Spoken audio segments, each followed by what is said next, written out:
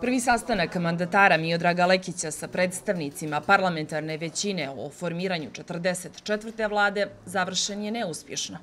Iako su prethodno predsjedniku države poslati potpisi 41 poslanika, lideri URE, Civisa i SMP-a danas nijesu bili spremni da potpišu zahtjev za zakazivanje sjednice Skupštine na kojoj bi se birala nova izvršna vlast. Ili će vlada biti ozbiljna ili neće biti.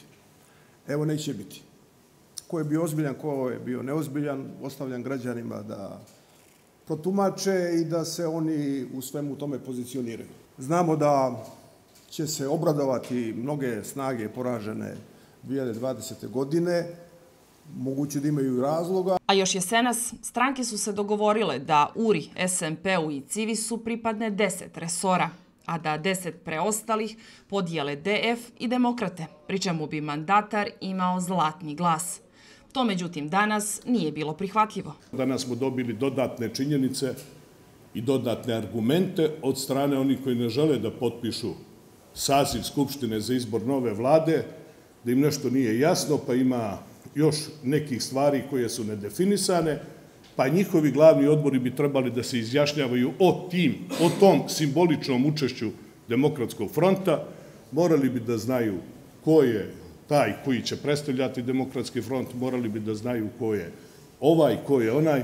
Mislim, onako prepoznajemo isti onaj rukopis koji je postojao i 2020. godine, koji nije dobar za jedno političko partnerstvo. Ja ovdje izražavam sumnju da je neko odbijajući deset resora, a nema cenzu što su potvrdili i lokalni izbori u Podgorici, ili uzeo pare, ili je ucijenjen od nekih krivičnih gonjenja, snimaka, šverca cigareta, droga, oružja ili ne znam čega. Šta je trebalo još da uradi demokratski front?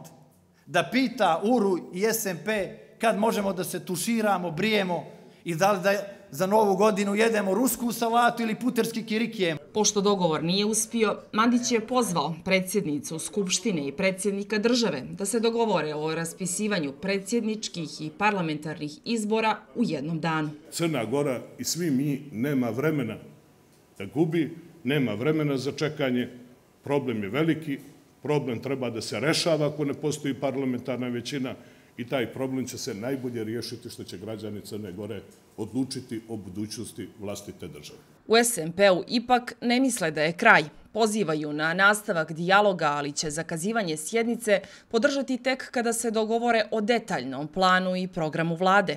I u koaliciji Crno na bijelo traže jasnu strukturu vlade, ističući da ne pristaju ni na kakve ultimativne stavove.